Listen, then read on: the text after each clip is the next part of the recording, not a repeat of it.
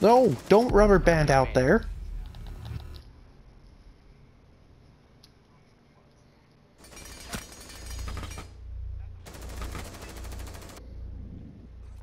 What the fuck?